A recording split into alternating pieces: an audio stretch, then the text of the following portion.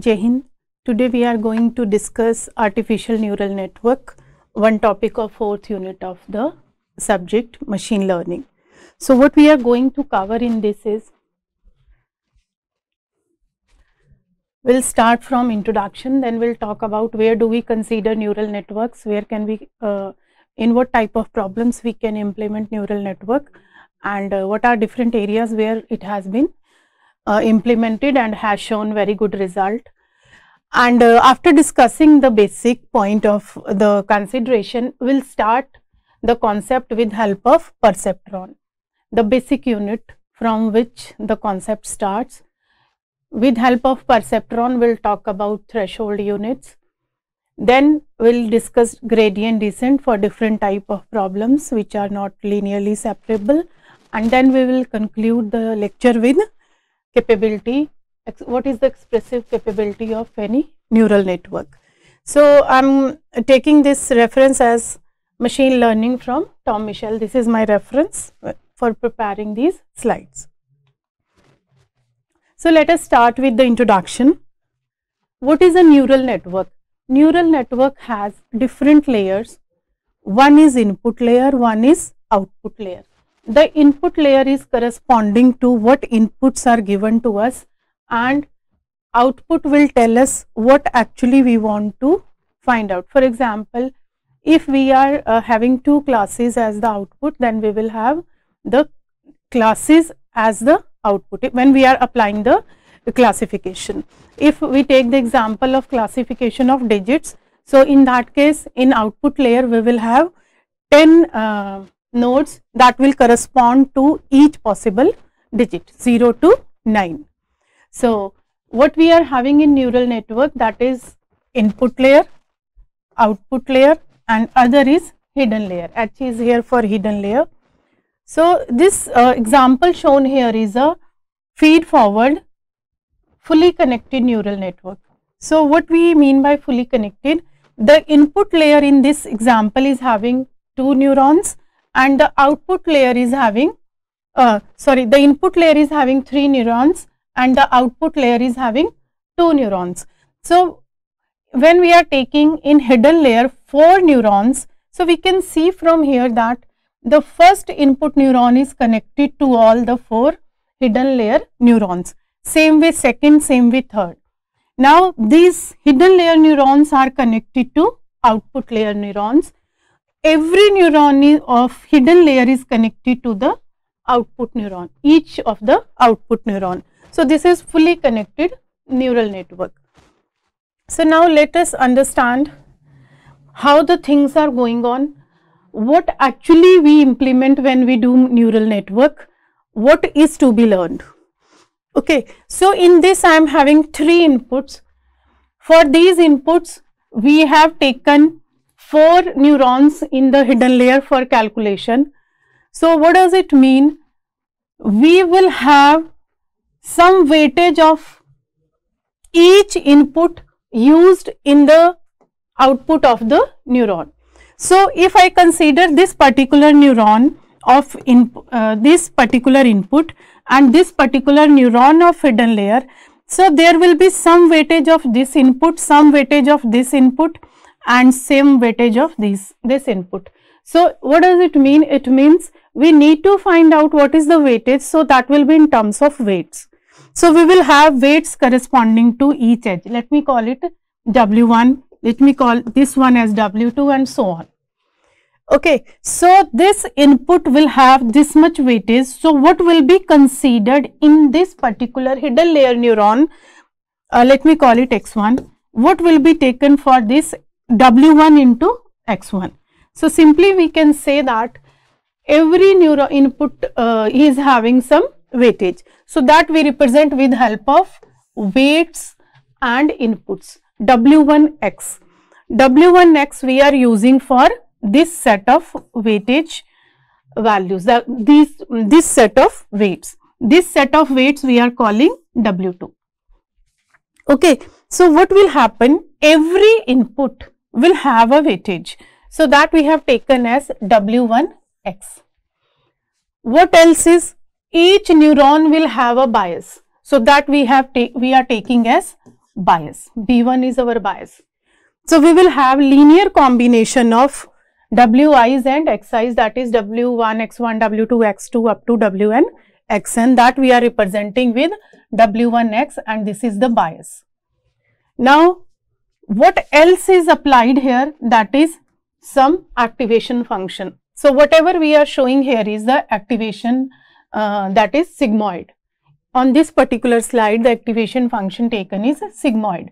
So the linear combination of inputs with weightage and bias we will get the linear combination on that we have applied activation function. So we are getting the output for this particular we, we are getting values for the hidden neurons.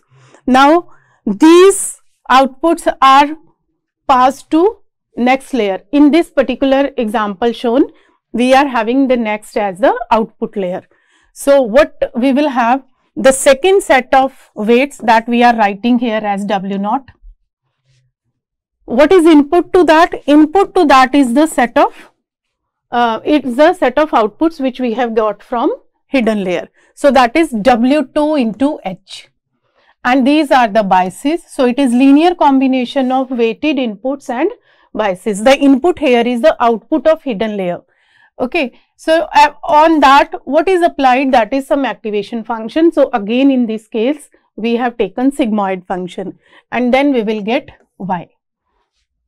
Okay. So we can learn from here that in hidden layer we are having 4 neurons, in output we are having 2. So in total we are having 6 neurons.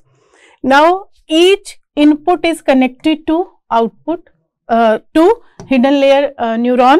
So we are having 3 into 4 weights required for W1 and 4 into 2 weights required for the W2 set. So we are having the requirement of 20 weights and as we are having these neurons, so there are 6 biases. Each neuron is having some bias value.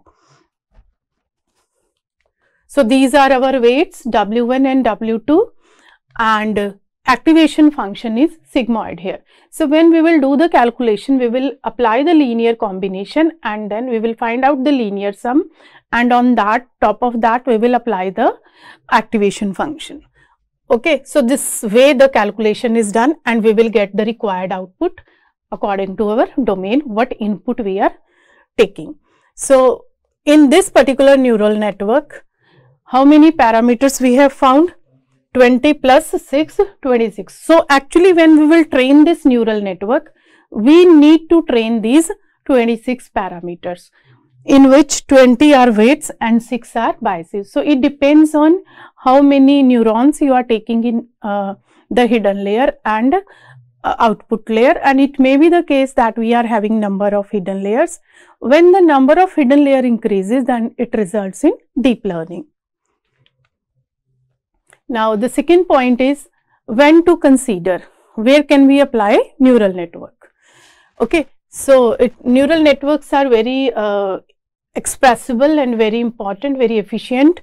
Input when we can apply neural network when input is high dimensional. It could be discrete value or real value. For example, when we talk about an image, in image let me say the size of image is uh, uh, something like 500 by 500. So, how many pixels will be there that will be the multiplication of 500 with 500 that is 500 rows and 500 column. So, so many inputs will be there. So, we are having high dimensional data, but uh, where we can apply neural network in both the cases whether we are having discrete value or real value. It can be applied to those problems in which the output is discrete or real valued. So, it can be applied in all the cases of discrete and real values whether it is input or output.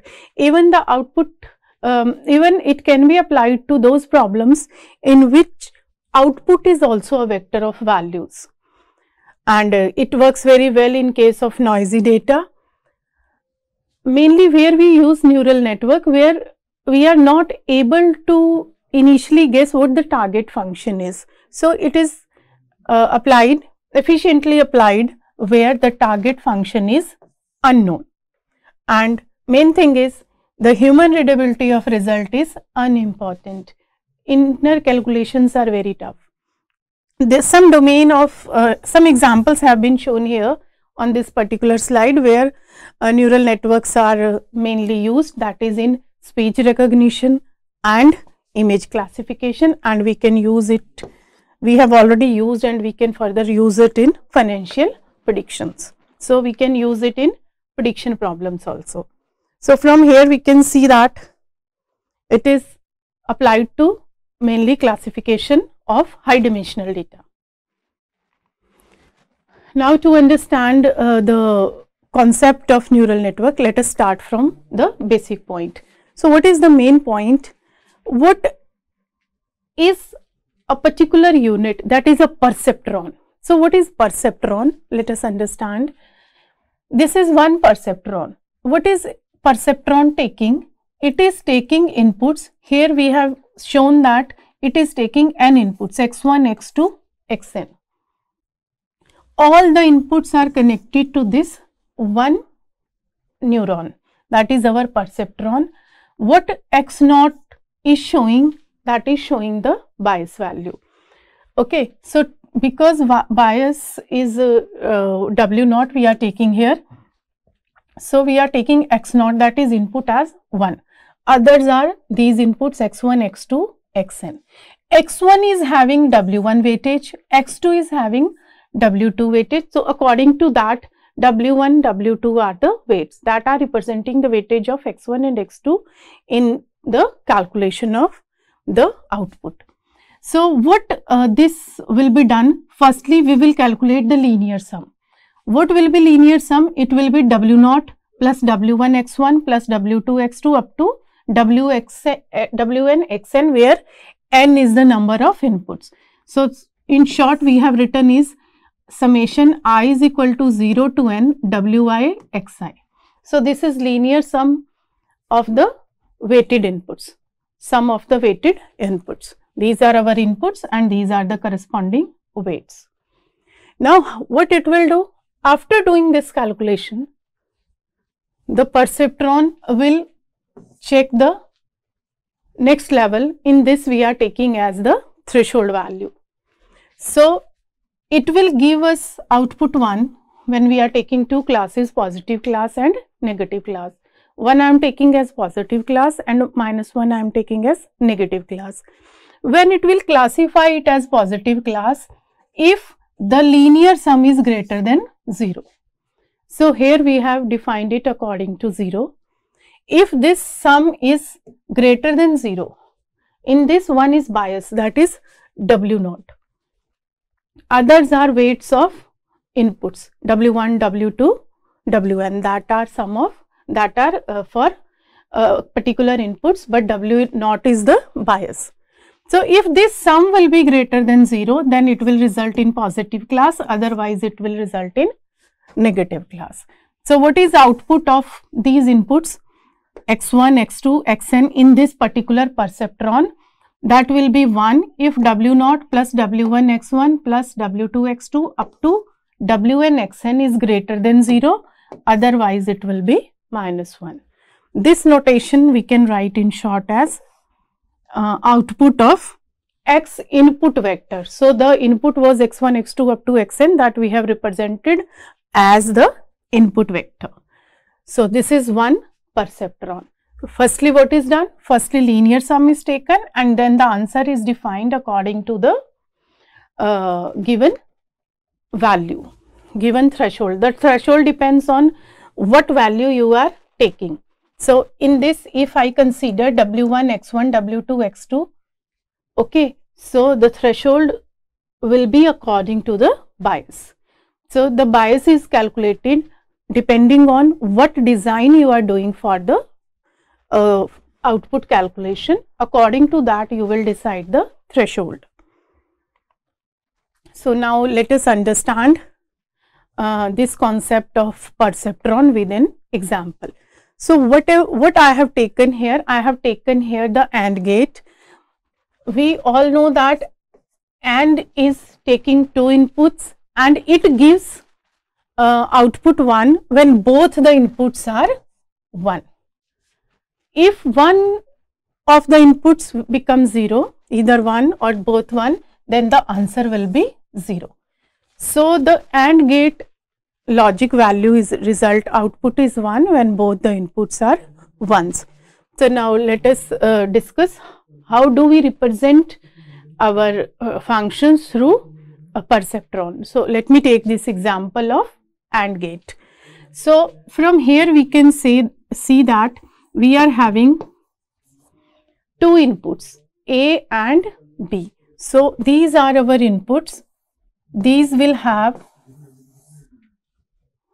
connection with the neuron means neuron will take two inputs A and B. What is my neuron? My neuron should be such that it becomes, it is the perceptron. The neuron should be such that it gives value 1 when both the inputs are 1 otherwise 0. Okay, so how do we implement it? We can take uh, some, we will uh, have some initially random uh, weights, then we will train our system and we will get the final uh, values of the weights. So, to explain this concept, let me take the weights are 0 0.7 and 0 0.7. Okay, and let me take the threshold value as 1. 1 is taken as the threshold value. So, if I take these inputs, I can see that what is done first. Firstly, we will find out the sum. So, if I take first input, first inputs are 0 and 0. So, what will be the weighted sum? 0 into 0 0.7 plus 0 into 0 0.7. So, sum will come as 0. Now, if I take second input, second input is 0 and 1. So, the weighted sum will be 0 into 0 0.7 and 1 into 0 0.7. So, what I will get value 0 0.7. It will be 0 0.7 for second. For 1 0 also we will have 1 into 0 0.7 plus 0 into 0 0.7 that is 0 0.7. And when both the inputs are 1s then it will be 0 0.7 into 1 plus 0 0.7 into 1. So, what we will get 0 0.7 plus 0 0.7 that is 1.4. Okay, so what is the threshold value we have taken? 1. So, we can see that it will, it is a threshold unit. We have considered the inputs and when the output is greater than threshold, then the output will be 1. So, we are having two classes here 0 and 1, two outputs 0 and 1. If the output will be less than 1, then answer will be 0 if the output is greater than 1, then answer will be 1. So, see with help of these weights we are able to train, uh, we are able to implement the AND gate. So, the threshold taken is 1. So, this is our threshold unit. In threshold we set the threshold value and we calculate the weighted sum. If the weighted sum uh, crosses the threshold then 1 is output when it is not crossing then 0 is. Same way we can uh, consider for OR function also. So, if I take the weights 1 point something let me say 1.2 that is more than 1 for both the inputs A and B. And we take the same threshold. Okay threshold we take the same. That is 1 so what we were saying the output is 0 when output uh, the calculated sum is less than 1 and 1 when it is the calculated sum let me call that sum as this summation is greater than 1 so in case first case we were getting the output 0 in second case we were getting the output 1 so, if we consider the same here, so in this we can see that on 0 0 the OR value will be 0, the sum will be 0 when it is 0 1 so this term will become 0 into 1.2 but this will be 1 into 1.2 so sum will be 1.2 in case of 0 1 in case of 1 0 again it will be 1.1 and in when both the inputs are ones then it will be 1.2 into 1 plus 1.2 into 1 so it will become 2.4 so we can see here when we are considering the threshold 1 okay in that case we can see that in this case the output that is the uh, weighted sum is less than 1 so output will be 0 in all other three case it is greater than threshold so output will be 1 it is less than the threshold so output is 0 these all three are greater than 1 1 is the threshold we have taken so the outputs are 1 so this way we can implement our AND gate. So, uh, when we will, how do we learn these? Uh, I said ki it will be 0 0.7, 0 0.7, yeah 1.2 or 1.2. So, how do we learn perceptron? So, what is the perceptron training rule? When we will train our initially, uh, when we will train our perceptron, initially we will take some random values and then what we will do, we will update the weights. Now the point is how do we update the weights? The weights are updated like Wi is Wi means previous weight plus delta Wi the change how much with how, uh, how much value we will change the weight. It depends on the current output that we are getting. Okay, what is the current output we are getting? We have learned on a previous slide that, that is O, OX with X input, O is the output. Okay. And what is T? T is the actual target. We are given input output example. So, what is T? T is the target value that we want. Okay. O is the perceptron output, whatever perceptron we have uh, implemented. So, this will tell us the difference which difference? What is actually required and what we are getting? That is difference is t minus o. And in which case? In case of xi input. For xi we are getting this much change. And it is multiplied by a small value that we call learning rate eta. It is a very small constant for example 0.1 0.01 and this is called learning rate. Whatever we have discussed here that is a perceptron. Now the point is, is uh, what is convergence of perceptron? The perceptron definitely converge in the case of linearly separable data. If training data is linearly separable, then definitely perceptron will converge when our eta is means learning rate is sufficiently small. So, the perceptron that we have just discussed works well for linearly separable data.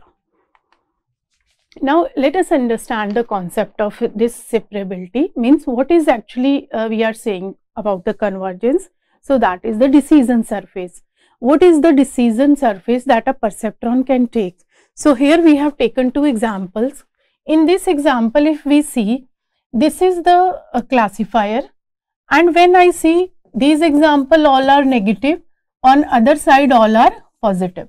So, by a line we are able to classify all the examples. So, these are these are linearly separable examples. This particular data set is linearly separable as we had for AND same is for OR. Okay. When we see this particular in this one positive example is here, one is here and I am having two negative examples, one is here, one is here. So, I am not able to draw a line such that negatives are on one side and positives are on one side. Whatever line I am drawing on both sides, I am having minus means negative examples also and positive class example also. Uh, so, this is non-linearly uh, separable. So, perceptron does not work in these non-linearly uh, separable cases. So, what are examples for linearly separable that is AND OR and any example of non we can take XOR because XOR is 1 when one input is 0 another is 1 means on distinct inputs it give us it gives us the one output. When it is similar it doesn't give. So XOR is one example of non-linearly separable data so what is the decision surface of perceptron the decision surface of perceptron is linearly separable data set it doesn't work for non-linearly means which is which are not linearly separable so uh, linearly separable can be done with the help of perceptron. What to do in case of non-linearly separable? There we use gradient descent. So, we will discuss now what is the concept of gradient descent. Gradient descent will be used when we are having non-linearly uh, non separable data. How do we work out it? Because now we are not having the threshold value that it will be greater than this, then this will be the output and if it is less than this then this will be the there is no uh, clear bar linear bar in between. So, in that case we need some other decision surface it cannot be a line okay. So, there we take the gradient descent. So, how to start with we will consider the linear unit means the sum of weighted sum of the inputs same as we have taken in perceptron that is W naught plus W1 x1 plus W2 x2 up to Wn xn. So, that will be our uh, linear unit. So, I am taking here O as summation i is equal to 0 to n Wi xi. Now, what we want? We want to segregate non-linearly separable data. So, what should I do? Okay, so what the concept is taken, we learn the weight such that it minimizes the squared error. Squared error. Why we take squared error? So that the negatives doesn't uh, cancel each other's effect. Okay, negative differences doesn't, negative difference doesn't cancel the effect of gap. So that's why we take always a squared error. So what is taken here as the error vector? error for this particular set of weights. Initially weights will be random, then we will uh, learn it gradually with the help of training rule. So, the error vector is taken here as 1 by 2 summation d belonging to d. d is my data set and this is one particular example. Okay. So, it will be td minus od whole square means for this particular example what was the uh, required output and what is the calculated output, the difference. So, what is our aim? Our aim is to minimize this distance, uh, this difference. What the difference is between the actual required, actual given in the example set and calculated by us that is OD by the neuron. Okay. So, that is the concept of error here that we are trying to minimize. So, what actually is taken when we start from some point, okay, this is the landscape. What we want to uh, start, we are starting from somewhere uh, with some weights. So, in those weights, we need to uh, do some training such that the error decreases. Okay, we are having some error initially, then that error should go on decreasing. So, that is what we want, minimize the error. This is the error surface that we want to minimize. Okay. With a given uh, weight vector, we are having some error. We want to decrease this error. That's why we are taking the descent, the decrease. It should get decreased. Now, what is taken as gradient? What we want to minimize, what we want to decrease? We want to decrease the error. Okay. So, it means what gradient should be taken? The gradient should be taken with that error vector. So, what will be change in uh, the error? That will depend on how much changes are there in your weights. Okay. So, what will be gradient? Gradient of the error will be the derivative of error with respect to each weight, weight component. What are the weight component? W naught, W1 and W naught. What do we want? We want to decrease it. That's why when we will take a change in vector, uh, a change in weight, it will be minus this gradient. The gradient should get decreased. What is gradient? Gradient is the derivative of error with respect to uh, different weights, all the weights, uh, all the weight components and what we want to do, we want to decrease it. That is why we are taking here minus sign. and what is this? Learning rate. So, this gradient can be calculated with help of derivative. Based on that, we can calculate the weight updation. How much uh, weight should be updated in uh, the training. So, what we are having? Uh, we need to find out the derivative of error. So, I am taking here one component. We are we have to do it for all components W naught W1 as uh, up to W1 as we have seen on the last slide. So, I am calculating here for 1. So, what is my one, uh, what uh, in general I have taken weight Wi. So, we will uh, take the derivative of error with respect to ith weight. And what is our error? Our error was this that we discussed as squared error. This we want to decrease. Okay. So, 1 by 2 summation d td minus od whole square. We will take derivative of this. This is x square derivative. So, what will be the derivative? the derivative of x square as we know is 2x. So, this is the derivative td minus od whole square the derivative will be 2 into td minus od. Now, point is we are differentiating it with respect to vector. So, this is the amount that we need to differentiate also. Okay. So, it was x square. So, what is x? x is td minus od. So, this x we are uh, derivating, we are uh, having derivative, we are differentiating with respect to weight Wi. As we know, this particular amount is fixed, it is given in our examples and this we are calculating and how do we calculate O? It is weight into x. Okay, so weight vector into input vector. So, what we are getting here, my this will become derivative of this will be 0 and here as we are uh, taking the derivative with respect to wi. So, we will get the ith component here others will become 0 because of the derivative that we take. Okay, so this is our error this is our gradient descent.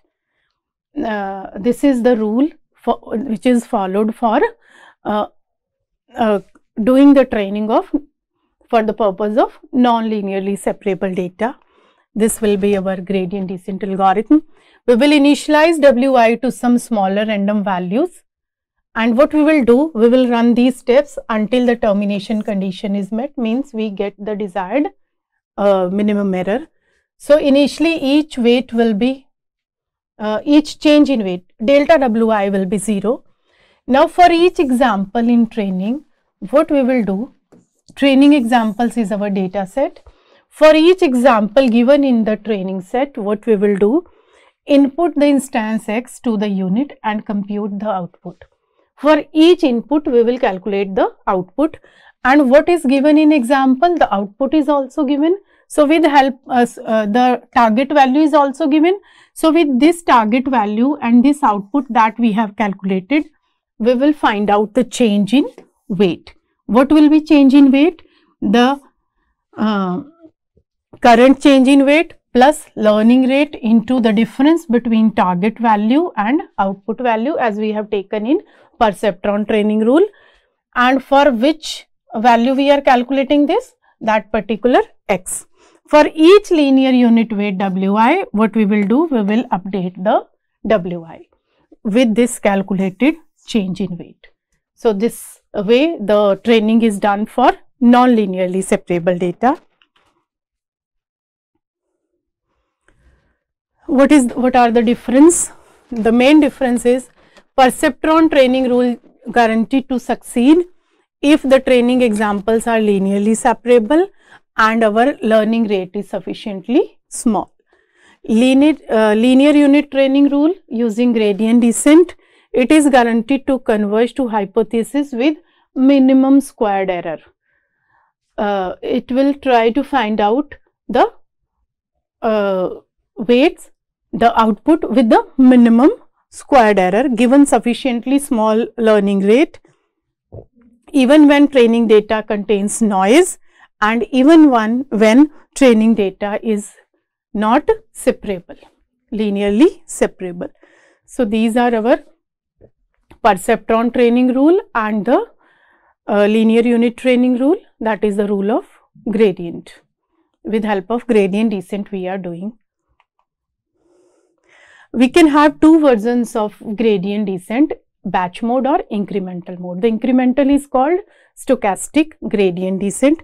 What is the difference between two?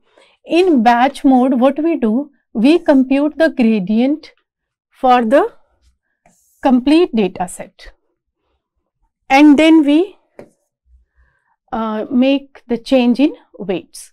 And what we do in incremental that is stochastic, for each training example, we will make the change in the weights for each example. It will be done as a whole. For whole set we will calculate and in this case we will do it only for the uh, uh, for each of the training one by one will do that is incremental. Whenever the example will come it will be calculated and the weights will be adjusted while in this case weights will be adjusted at end.